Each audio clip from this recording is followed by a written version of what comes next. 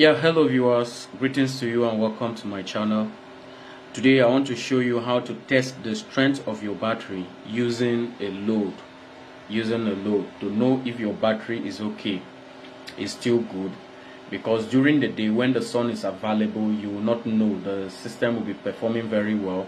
But in the night, when the sun is not there and you you know try to switch on the system to power your loads. You hear the inverter beeping and before you know it the system will shut down.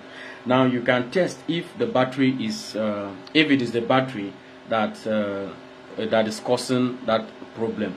So one of the ways is uh, you can test using uh, a load. This is my load.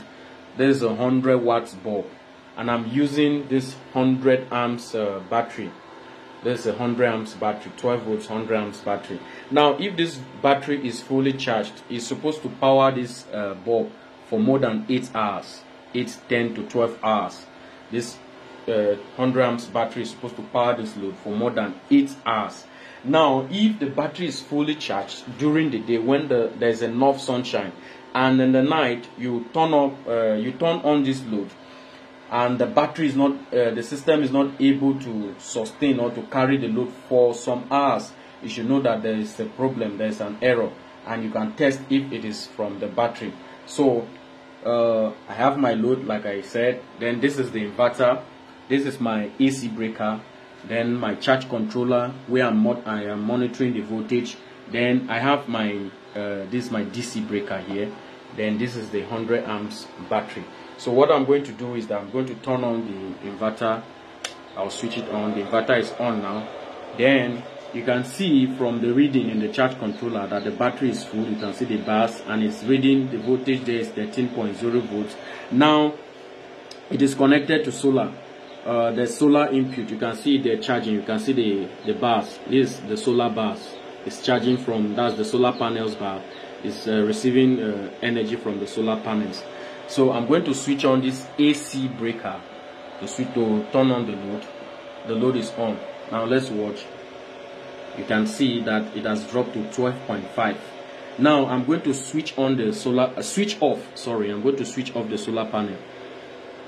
This is my DC breaker, so I'm going to switch it off. It is off. There's no solar input as you can see. So you can see that the voltage is dropping. It is now 12.1 the load is still on so let's wait and see if this can last for up to 8 hours. It's already dropping to 12.0 it's dropping to 12.0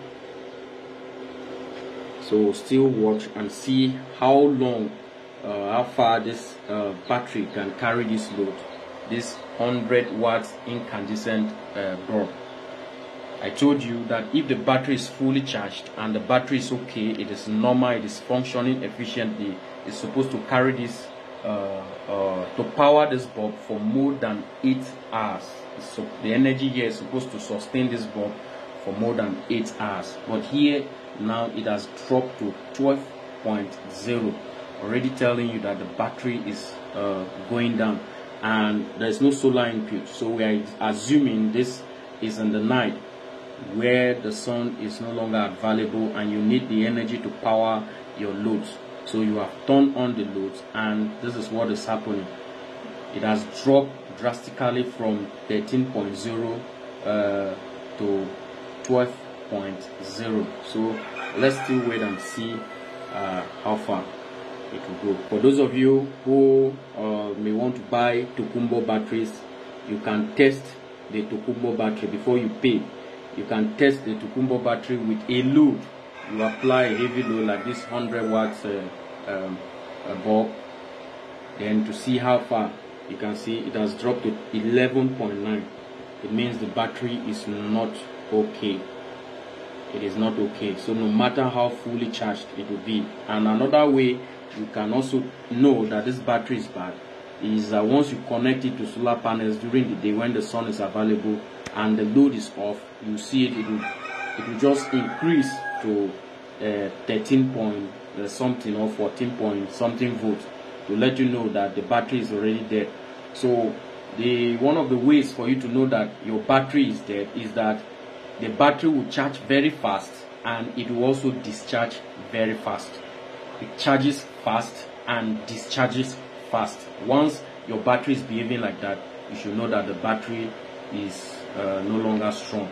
So for your battery to drop from uh, to drop below 12 volt, this is already 11.9 is a danger sign. And it is not good for you to drain your battery to this level. When you are draining your battery every day to 11.9, your battery will drop to will discharge to 11.9, 11.5 it is not good. It will kill that battery very fast if it is still a new battery. But for this one the battery is already weak it's a weak battery uh, as you can see. So let me turn off the load. The load is off. You can see it has increased back to 12.1 then let me switch on the solar panels. The panels are on. You can see the solar panels on. It has increased to 12.5 this is 12.6 okay it's fluctuating. So uh, another way you can test is uh, by using this multimeter you can use a multimeter. For example you have like four batteries in series or eight batteries uh, uh that are connected in series and in parallel. Maybe it's a 48 volt system.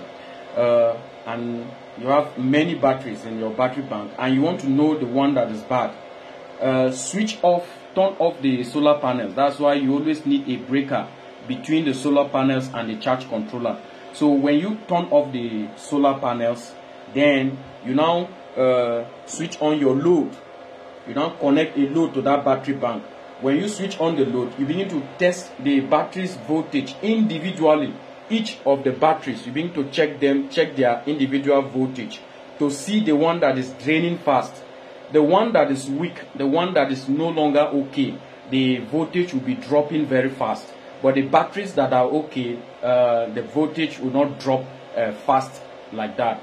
But the ones that are bad, once you uh, uh put your test probe, positive and negative, you see the battery reducing, dropping very fast. Then you should know that uh, that is the battery that is giving that battery bank uh, issues and you have to change it. So thank you for watching.